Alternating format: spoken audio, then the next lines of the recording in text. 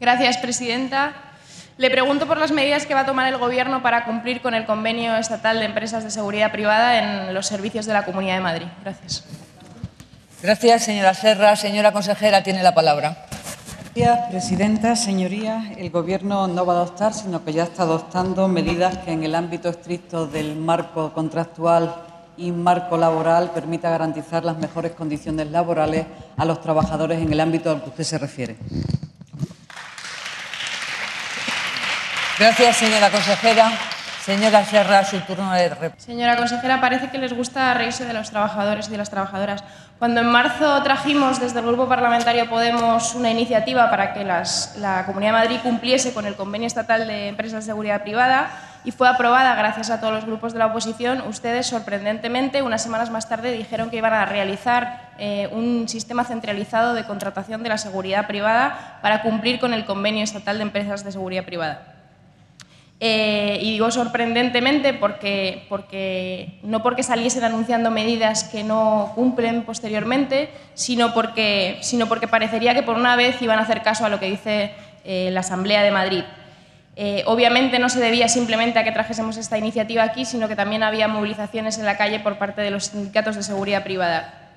Y los sindicatos y los trabajadores han estado durante este tiempo aguantando, porque les dijeron que el 1 de enero del año 2017 se realizaría este nuevo sistema de contratación centralizado con el que se cumpliría el convenio. Y digo que han estado aguantando a pesar de que, a pesar de que ustedes han seguido contratando y adjudicando estos servicios a empresas que no cumplen el convenio y que pagan hasta un 40% menos del salario que establece ese convenio a filiales encubiertas de Integral Canaria como son Marsegur y como son Sinergias. Y le digo algunas de las adjudicaciones que han realizado en este tiempo desde que trajimos esa iniciativa hasta este momento. En julio la Consejería de Sanidad adjudica un contrato de más de 300.000 euros a Sinergias. Las sedes de educación, cultura y empleo también adjudicadas a Sinergias y Marsegur. Presidencia, también adjudicada a Sinergias. Las residencias infantiles parece que van a prorrogar el contrato para seguir contratando con una de estas empresas que no cumplen el convenio. Y de hecho yo creo que es que han aprovechado durante este tiempo para intentar continuar adjudicando a empresas que no cumplen el convenio.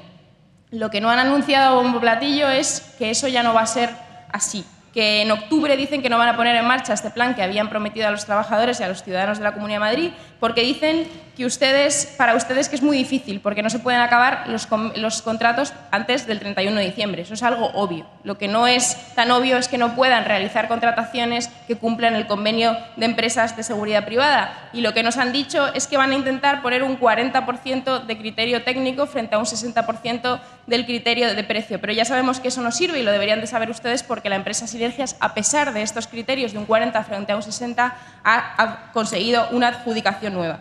Y lo que pasa es que ustedes no quieren eh, cambiar este sistema porque quien al final eh, es el dueño de todas las empresas de seguridad privada en la Comunidad de Madrid, lo saben bien, es su amigo mafioso Miguel Ángel Ramírez, amigo del exministro Soria, donante del Partido Popular, que han intentado indultar y con varios casos de vulneración derechos fundamentales de los trabajadores. Y por si fuera poco, para acabar de mostrar cómo funciona la seguridad privada en este país, eh, la empresa propiedad del exministro Morenés, Segur Ibérica, hasta ha anunciado que va a hacer un ERE de miles de personas, de 4.000 empleados, con una empresa que factura 169 millones de euros. Su tiempo ha terminado. Gracias.